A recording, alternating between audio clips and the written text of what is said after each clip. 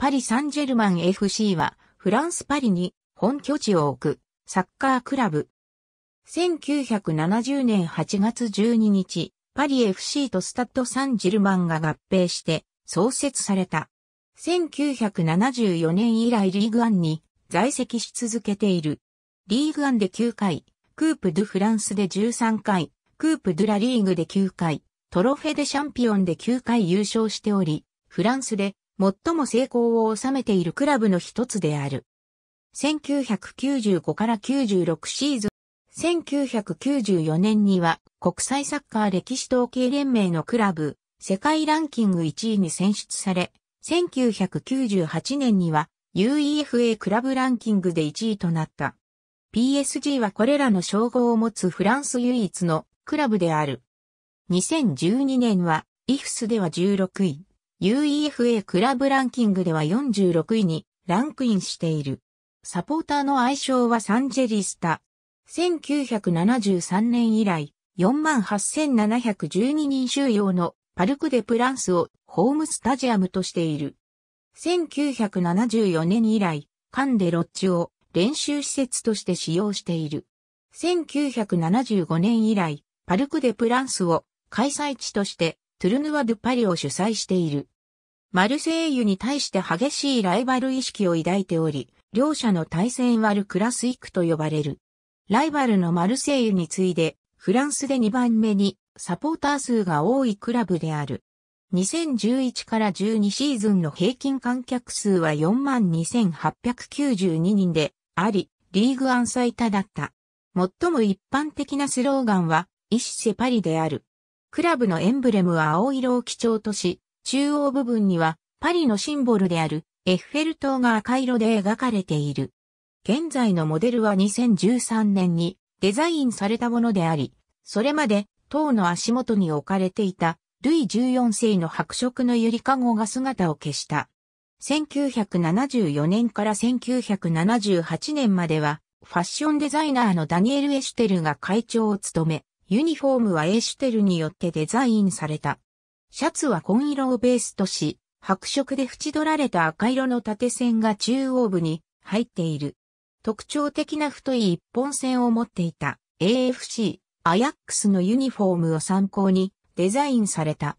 女子チームは1991年から存在する。ジャンポール・ベルモンド、アンリ・サルバドール、トニー・パーカーやミカエル・ピートラス、ニコラ・サルコジなどがパリ・サンジェルマンのファンとして知られている。2014年1月、世界最大の会計事務所であるデロイトの調査によると、2012から13シーズンのクラブ収入は3億9880万ユーロであり、レアル・マドリード、FC バルセロナ、バイエルン・ミュンヘン、マンチェスター・ユナイテッド FC に次ぐ世界5位である。2016年3月13日、4年連続6度目のリーグ優勝が決まり、リーグアン史上最速優勝であった。パルクデプランスにあるトロフィー兵器ヨーロッパや南米のサッカークラブは総合スポーツクラブの一部門として誕生したクラブが多いが、パリ・サンジェルマンの創設過程はこれらのクラブとは異なる。パリに本拠地を置くサッカークラブとしては1896年創立のラシンクラブドフランスがあったが、1967年にリーグから脱退してプロサッカー部門を撤収した。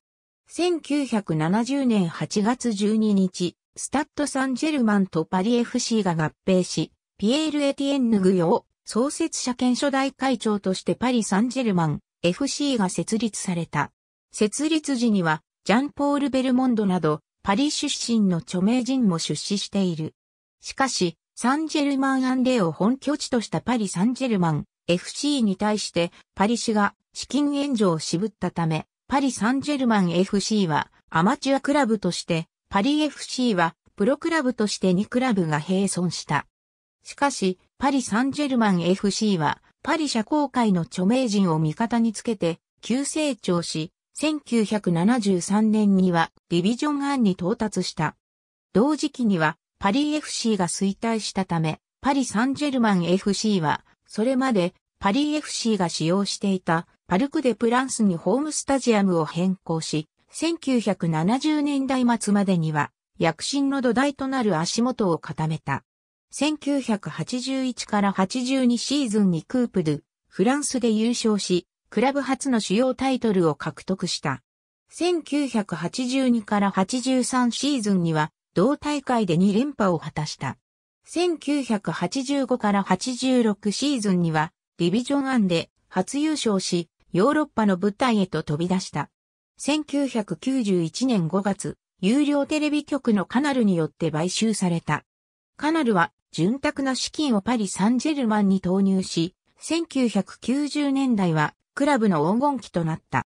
1992年には、リベリア代表のジョージ・ウェアやフランス代表のダビド・ジノラを獲得。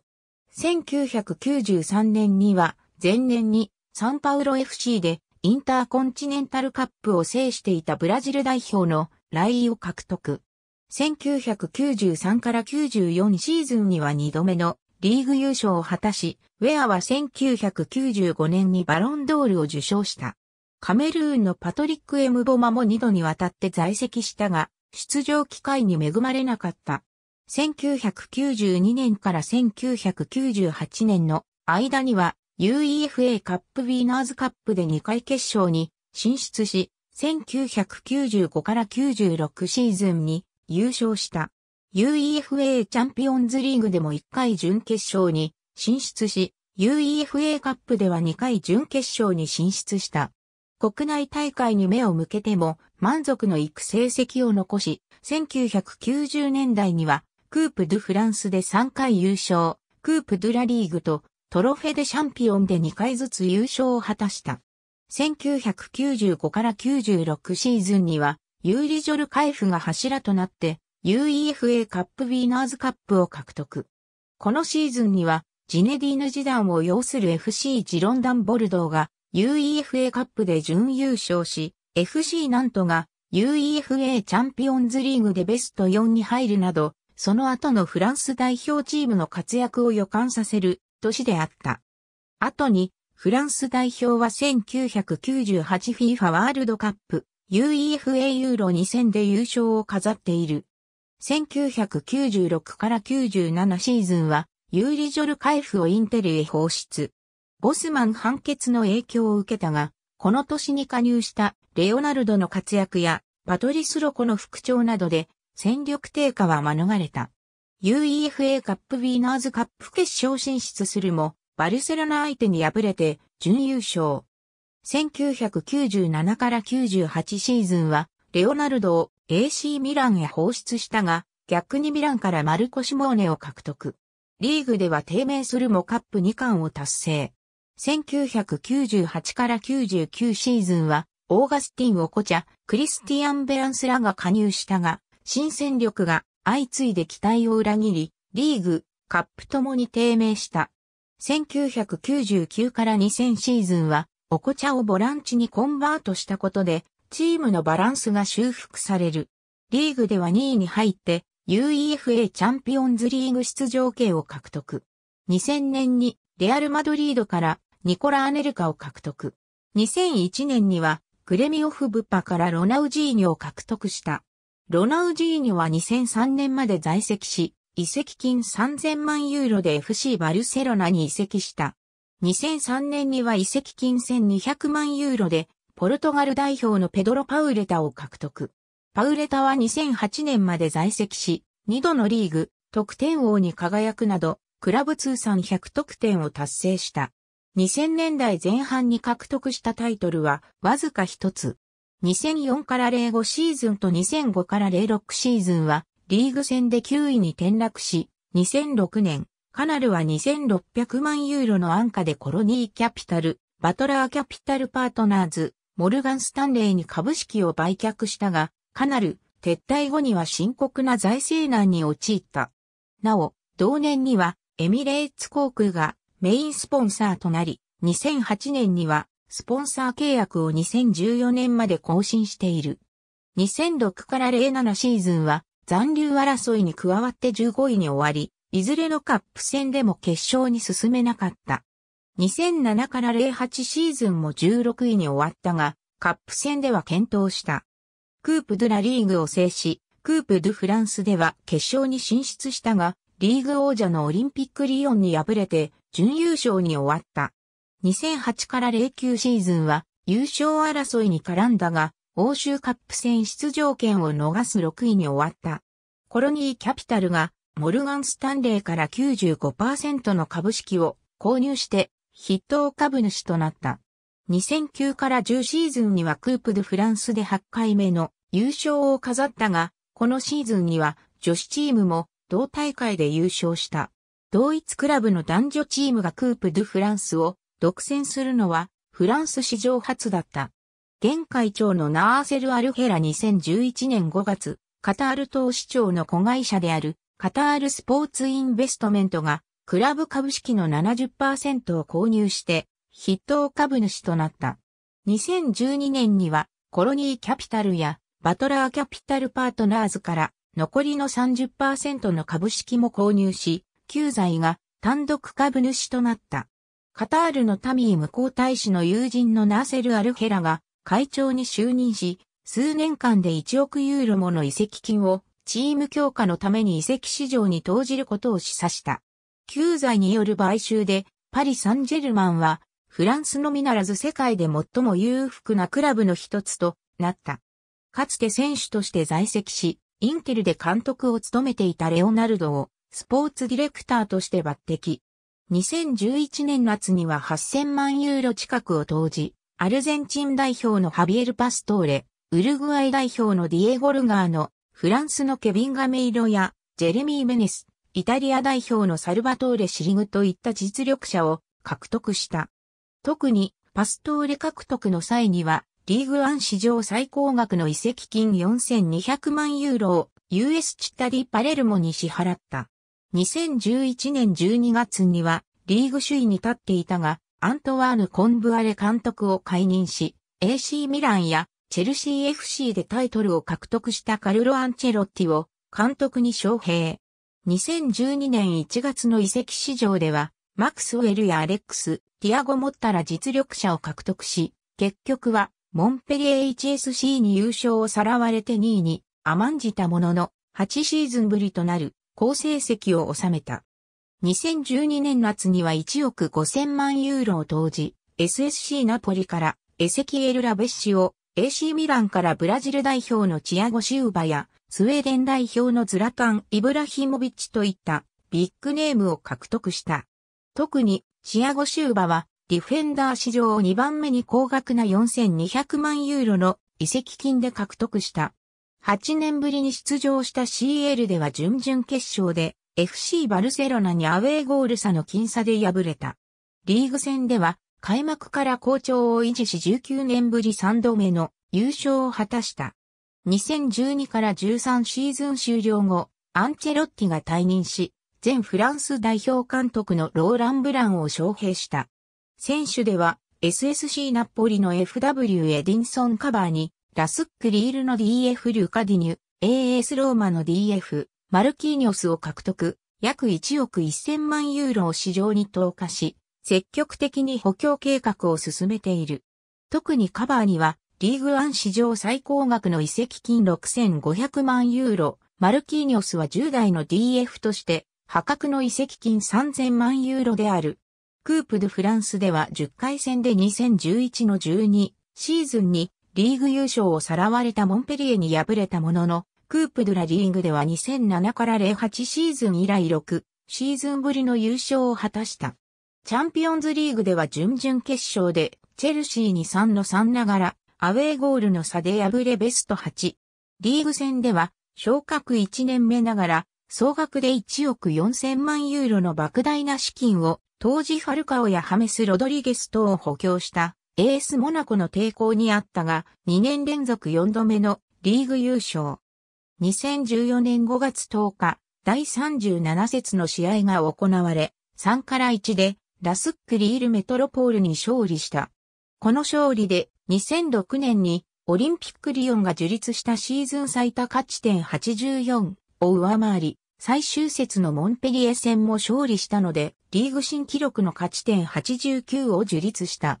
また、イブラヒモビッチが2年続けて2位に10ゴールの大差をつけて、得点王になった。2014から15シーズンはスタッド・ドゥ・ランスとの開幕戦に引き分けると、トゥールーズやエビアンといった格下相手に引き分けて勝ち点を取りこぼす不安定な戦いが続いた。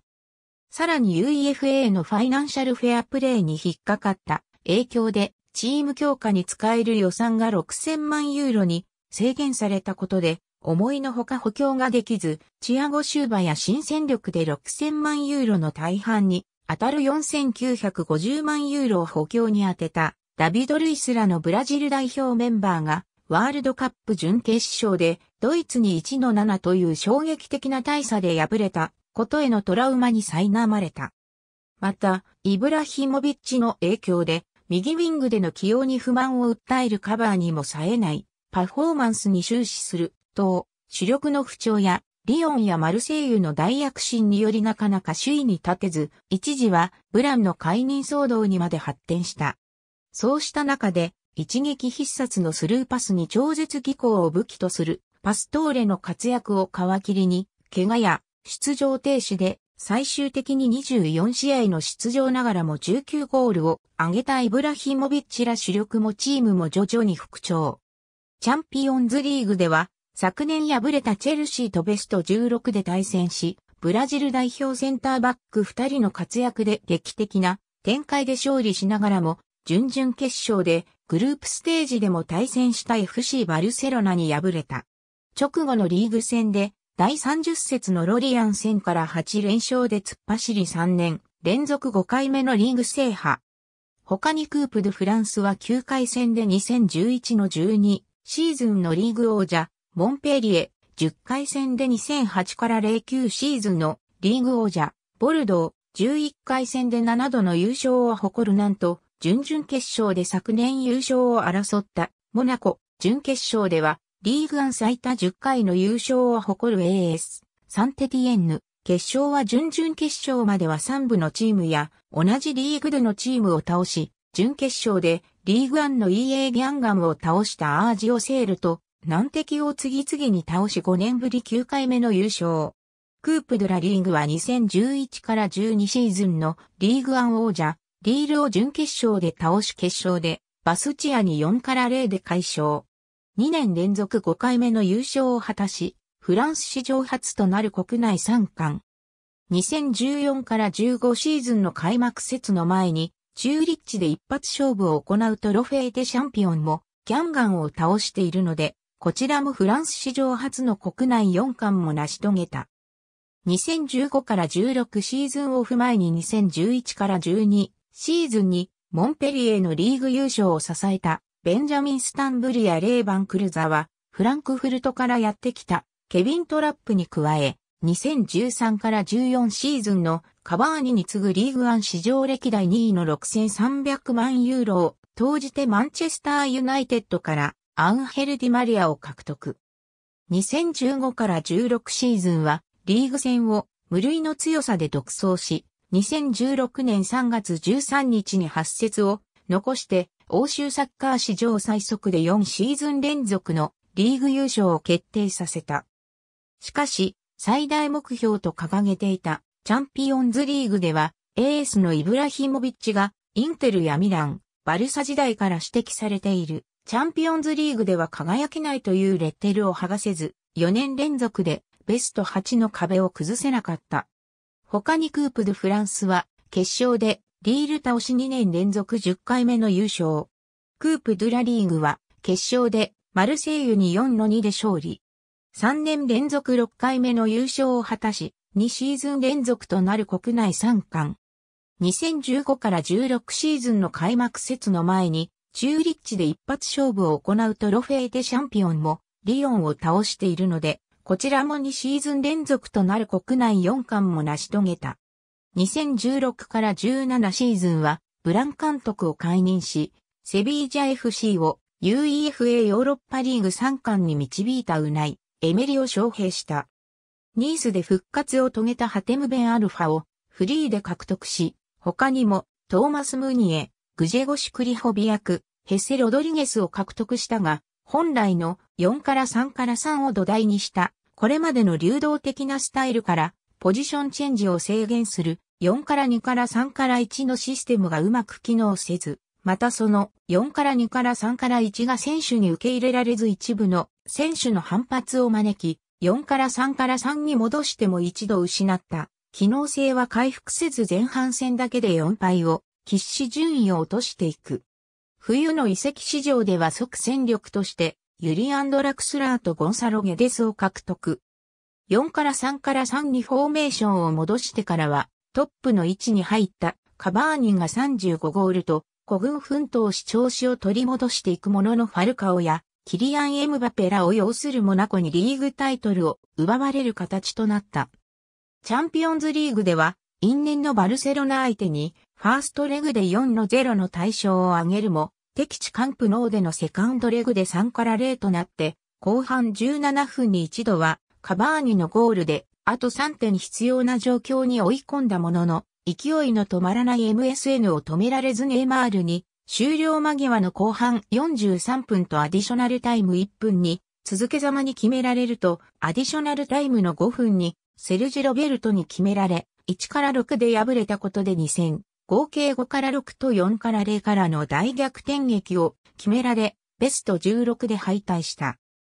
クープ・ドゥラリーグは、決勝で、モナコに4の1で勝利、クープ・ドゥ・フランスは準決勝でモナコ5の0とリーグ5連覇を逃した鬱憤を晴らし、決勝では2年前まではリーグドゥに所属し、昨年9位だったアンジェ SCO に1から0で下しどちらのカップ戦も3連覇を達成した。2017から18シーズンはユベントスとの契約を解除したダニエル・アウベスをフリーでバルセロナからネイマールを史上最高額の移籍金2億2200万ユーロで獲得した。さらにライバルのモナコからキリアン・エムバペを買い取りオプションのついたレンタルの形で獲得した。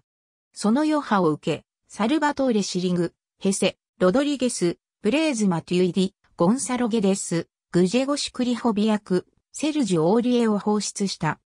エムバペとカバーニとネイマールの前線トリオは、それぞれの頭文字を取って、MCN と呼ばれ、期待された通りの爆発的な攻撃力によって、チームを牽引し、リーグアンの首位を独走。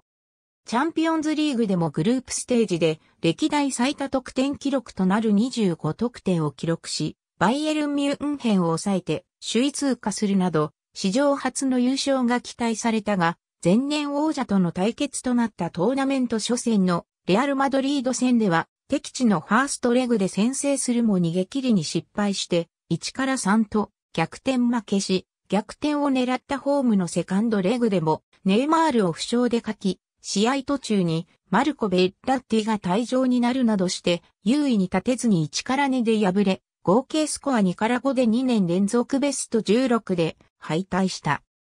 2018から19シーズンは、トーマス・トゥヘルを監督に招聘し、2年契約を締結した。夏の移籍市場では、エムバペの買取オプションが行使し、ジャンルイジ・ブフォンをフリーで、シャルケ04からティロ、ケイラー、バイエルン・ミュンヘンから、フアンベルナと、ストークシティ FC からエリック・マキシム・シュポモティングを獲得した。一方、ケビン・トラップ、ユーリ・ベルチチェ、ハビエル・パストーレ、ハテム・ベン・アルファを放出、人員整理に努めた。アドリアン・ラビオがクラブとの契約延長を拒否して干されてしまったが、トゥヘルはマルキーニョスをボランチにコンバートし、ネイマールをトップ下に置いて4から2から3から1システムのフォーメーションを確立し、リーグでは首位を独走、UEFA チャンピオンズリーグもリバプール FC、SSC ナポリと同居する死のグループを首位通過した。しかし、ネイマールとカバーニが負傷離脱すると、決勝トーナメントラウンド16のマンチェスターユナイテッド戦は、ファーストレグこそアウェーで2から0で勝利するも、セカンドレグで、ホームで1から3と敗戦。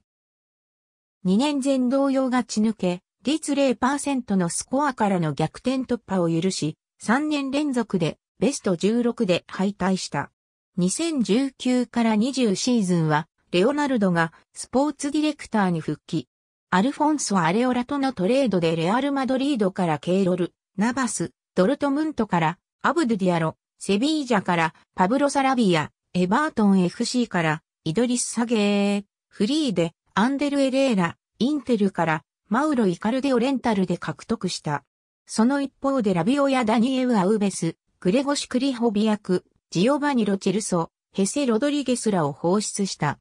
GK にナバスがボランチにゲイが加入したことで長年の課題だった守備面での問題が解消され、前線にイカルディが加入したことで昨年の4から2から3から1のみならず4から4から2も可能になり、攻守のバランスが取れるようになった。左 MF にネイマール、前線でエムバペとイカルディの2トップ、右 MF にディマリアが並ぶ豪華な攻撃陣はファンタスティック、4とも呼ばれ、リーグ戦では4試合連続4得点を記録した27節の終了時点で75得点と爆発的な攻撃力を誇って首位を改装。新型コロナウイルスの感染拡大によってリーグアンが中断されていたが、4月30日にリーグアンの打ち切りが発表され、中断時点までの1試合あたりの勝ち点によって算出された順位で1位となりリーグ優勝を果たした。CL でもグループステージでは、ネイマールが最初の3試合出場停止、エムバペも欠場だったにもかかわらず、レアル・マドリードにホームで3から0の勝利、復帰後もアウェーで2から2と互角に渡り合い、首位通過を果たした。決勝トーナメントでは、ボルシア・ドルトムントとアウェーで2の1で敗れたが、無観客試合となったホームでの試合は2から0で勝利して、トータルスコア3から2で2015から16、シーズン以来の準々決勝に進出。CL は新型コロナウイルスの世界的な感染拡大により、長期の中断を余儀なくされたが、準々決勝以降の開催方式が1試合決着方式の中立地での短期集中開催に変更された。これにより、すでに準々決勝進出を決めたことで、残り消化試合数が少なくなり、パリ SG にとって追い風となった。準々決勝はアタランタに2から1で勝利して1994から95シーズン以来の準決勝進出となり、旧在による買収後初めてベスト8の壁を突破し、クラブ創設後初の CL 決勝に進出したが、FC バイエルンミュンヘンを前に1の0で敗退した。2020から21シーズンは長年キャプテンを務めていたチアゴ・シウバが契約満了に伴いチェルシーに移籍。さらにエディンソン・カバーにトーマス・ムニエラ主力が同じく契約満了に伴い対談。これまでチームを牽引していたベテランが相次いで退団した。2019から20シーズンに期限付き移籍で加入していたマウロ・イカルディ、セルフィオリコが買取 OP 講師により完全移籍で加入した。さらに、期限付き移籍でアレッサンドロ・フロレンツィ、モイーズ・キーン、ダニーロ・ペレーラが加入した。また、スポルティング CP に期限付き移籍していたヘセ、ロドリゲスが復帰した。オフシーズンに新型コロナウイルスに主力選手が多数感染。UEFA チャンピオンズリーグの影響で延期されていた第2節 RC ランス戦から2試合、ユース選手ら若手選手を中心に試合に臨むもに連敗。第3節ホームパルクでプランスで行われたオリンピックマルセイユとノルクラスイクで0から1で敗戦。2011年11月27日以来、9年ぶりにマルセイユ相手に黒星を喫した。詳細はル・クラスイクを3勝2006年のクープ・ドゥ・フランス決勝における PSG のサポータール・クラスイクは PSG とオリンピック・マルセイユの間で行われるダービーマッチの名称である。対戦の名称はレアル・マドリードと FC バルセロナが対戦するエル・クラシコに由来している。PSG とマルセイユのライバル意識が1980年代後半から1990年代初頭にかけて激しさを増すと、有料テレビ局で PSG の元オーナーカナルとマルセイユのベルナール、タピ会長が両者の対立を煽り、フランス中のサッカーファンにとって興味深い試合に仕立て上げた。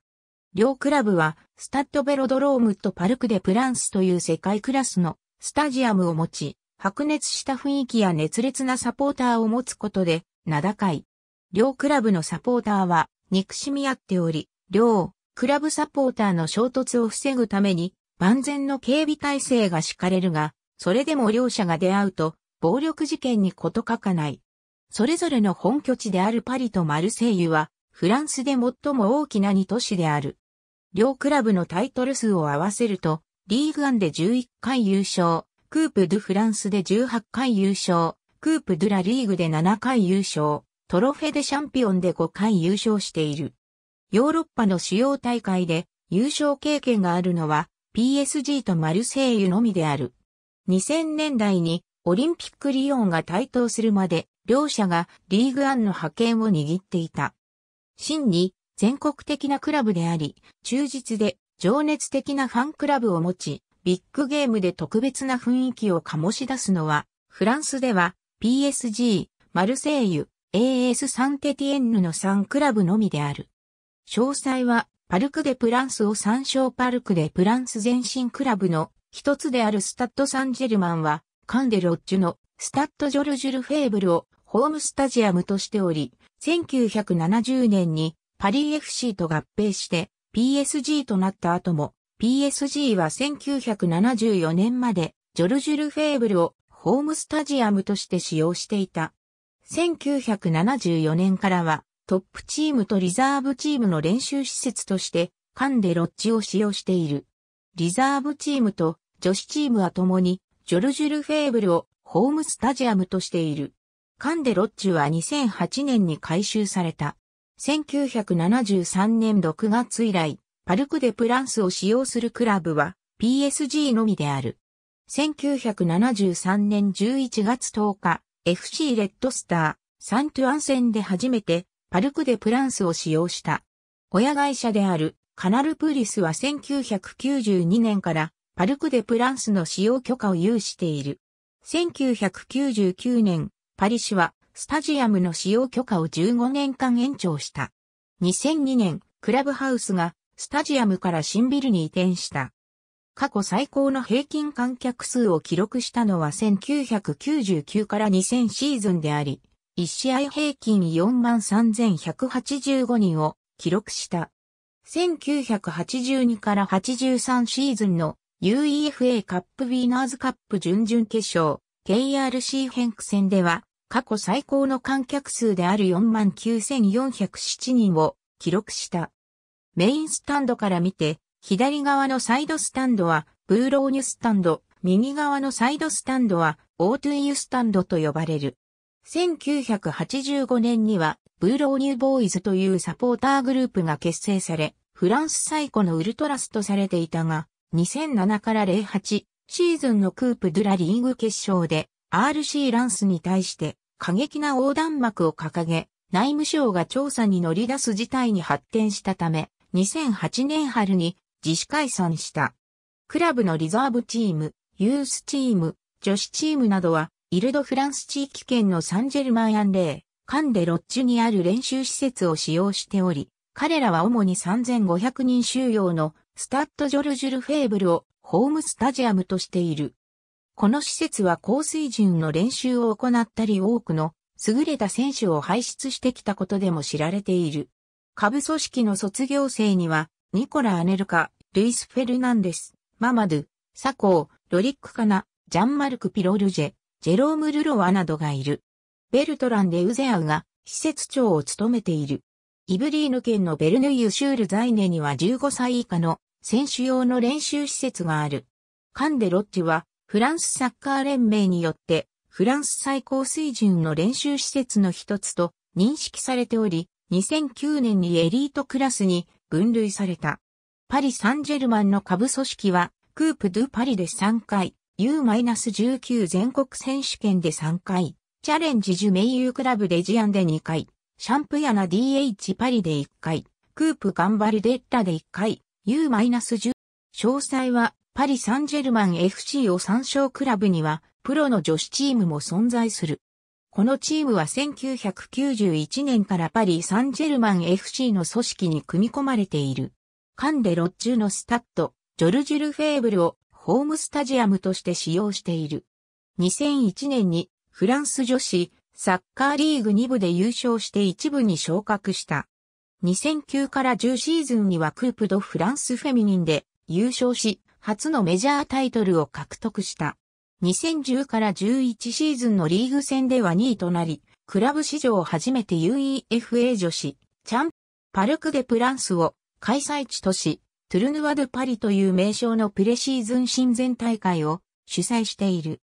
1957年から1976年まではシーズン閉幕後に開催し、1977年以降はシーズン開幕前に開催している。この大会は AFC アヤックスが主催するアムステルダムトーナメント、アーセナル FC が主催するエミレーツカップなどと同等の権威を持つ親善大会であり、カナルによって放映される。主催クラブを含めて4クラブが出場し、2日間にわたって行われる。パリ・サンジェルマン自身は1975年以降、継続して出場しており、7回優勝している。RSC アンデルレヒトが3回優勝しており、主催クラブ以外では最も優勝回数が多い。リーグアン2020から21シーズン主要、フォーメーションエムバペ7キン18ディマリア11、ベッラティロクエレーラ21ゲー27、バッケル25キンペンマルキーニョス5フロレンツィ、24ナバス1 2021年1月15日、現在、括弧内の国旗は、その他の保有国籍を、星印は EU 県外選手を示す。監督インアウト1970年のピエール・エティエンヌグヨ初代会長以来、2011年に就任したカタール人のナーセル・アルヘラ会長までに17人がパリ・サンジェルマンの会長職についているであり、在任期間中に8個の主要タイトルを獲得したのです。1991年以降、3人がチェアマンの職に就いた。最も成功を収めたチェアマンは、ベルナール・ブロシャンであり、在任期間中に9個の主要タイトルを獲得した。ブロシャンは歴代最長の在任期間を持つチェアマンでもあり、10年にわたって同職を務めた。2012年からは、ベノワルソーがチェアマンを務めている。2014年6月6日、時点2010年7月21日時点1970年に初代監督となったピエール・フェリポンに始まり、PSG では20人以上が監督を務めてきた。ルイス・フェルナンデス監督はクラブ史上最多の5個のタイトルを獲得した。1994から95シーズンのクープドゥ、フランストクープドゥラリーグ、1995年のトロフェ、デシャンピオン、1995から96シーズンの UEFA カップウィナーズカップ、2001年の UEFA インタートトカップである。